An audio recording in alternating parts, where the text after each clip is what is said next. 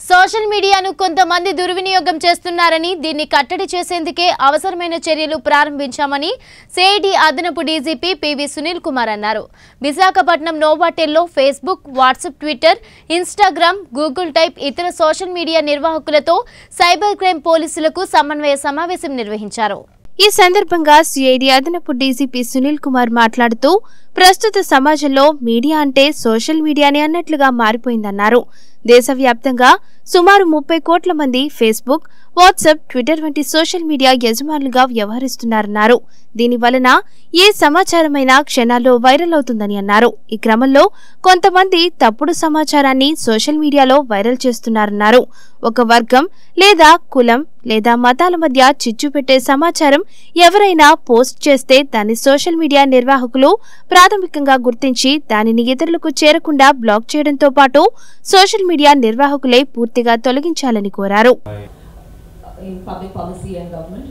Uh, we'd like to actually thank you for this excellent initiative and we greatly appreciate the opportunity of collaborating together with the AP police and seeing how best we can partner together. of the legal team with Google in India, and I also look after the law enforcement engagement. And I work very closely with uh, AP police,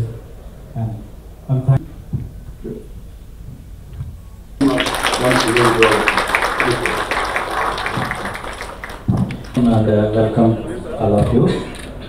ఈ రోజున మన Andhra Pradesh CID విభాగం మన దేశంలో ఉన్న social media heads అంటే Facebook Instagram Twitter మరి WhatsApp ఈ నాలుగు ప్లాట్ఫామ్స్ నుంచి వచ్చినటువంటి నేషనల్ హెడ్స్ తోటి ఈరోజు మనం ఒక కోఆర్డినేషన్ మీటింగ్ పెట్టుకోవడం జరిగింది.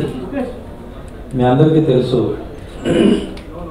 ఈ రోజున మీడియా అంటే ముఖ్యంగా సోషల్ మీడియాగా ఉంది. ఏ సమాచారం వేగంగా అందరికీ చేరాలన్నా కూడా సోషల్ మీడియా అనేది ఒక ప్రధానమైన సాధనంగా ఉంది.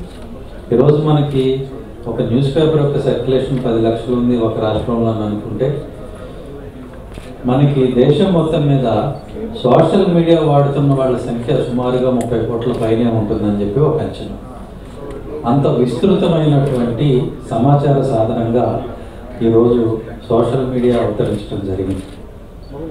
అయితే మీ అందరికీ తెలుసు సోషల్ మీడియా ద్వారా కరెక్ట్ ఇన్ఫర్మేషన్ జెన్యున్ ఇన్ఫర్మేషన్ కాకుండా విదేశాల్లో జరిగినవి మన దేశాల్లో జరిగినట్టుగా సర్క్యులేట్ చేయటం వదంతులు సర్క్యులేట్ చేయటం అదేవిధంగా సెలబ్రిటీస్ని మహిళల్ని కొన్ని కొన్నిసార్లు చాలాసార్లు పోలీసుల్ని కూడా కించపరిచే విధంగా పోస్టులు సర్క్యులేట్ కావటం.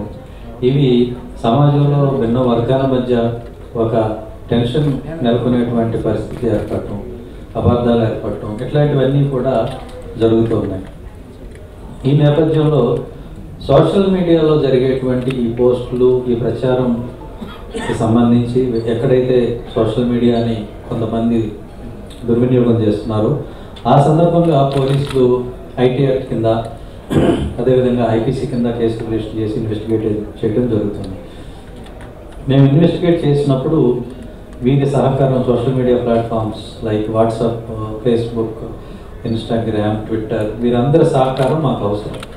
ఎందుకంటే దానివల్ల వచ్చే రిపర్కషన్స్ ఒక్కొక్కసారి చాలా తీవ్రంగా ఉంటాయి. సో ఇమ్మీడియట్గా ఫాల్స్ కంటెంట్ని ఆపటం అనే అన్వెరిఫైడ్ కంటెంట్ని ఆపటం ఇట్లాంటి వాటిల్లో మేము వారి సహకారం తీసుకోవాల్సి ఉంటుంది. లేకపోతే అదే మెసేజ్ సర్క్యులేట్ అయిపోయి సొసైటీలో భిన్న వర్గాల మధ్యన మరి ఉంటుంది. కాబట్టి ఇట్లాంటివి విషయాల్లో పోలీసు చాలా వేగంగా పనిచేయాల్సిన అవసరం ఉంటుంది. అదేవిధంగా ఈ ఆధునిక సాంకేతికతని మేము అందిపుచ్చుకోవాలి. ఈ ప్లాట్ఫామ్స్ ఎలా పనిచేస్తాయి?